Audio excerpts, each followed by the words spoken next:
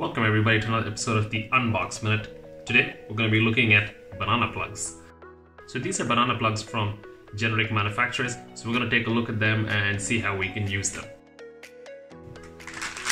So these are right angled as you can see. It's better for hooking up at the back of let's say a receiver and these are the straight ones. So let's open one of these packages and take a quick look. Okay, so looking at them, you can see that they have red and black to match with the speaker terminals. And then these are right angle, so you can put them at the back of, let's say, the receiver or any other audio device that you need to connect it to. Also, these are right angled, so if you're connecting it to a receiver and the wires need to face down, it's much simpler. Banana plugs make it easy for you to disconnect and connect from various devices so rather than connecting bare wires to the receiver.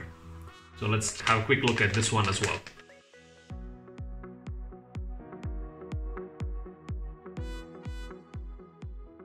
Okay, so here you go. These are two regular banana plugs.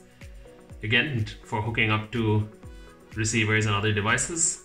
And rather than hooking up the bare wires on the back of the receiver, you can hook the wires into these plugs and then hook them up into receivers. Yeah, so it's easy for swapping. So these are straight ones, so you can expect that when you connect it, the wire will be going out straight. Hope you're enjoying our content. Don't forget to like and subscribe, and we will see you in the next one.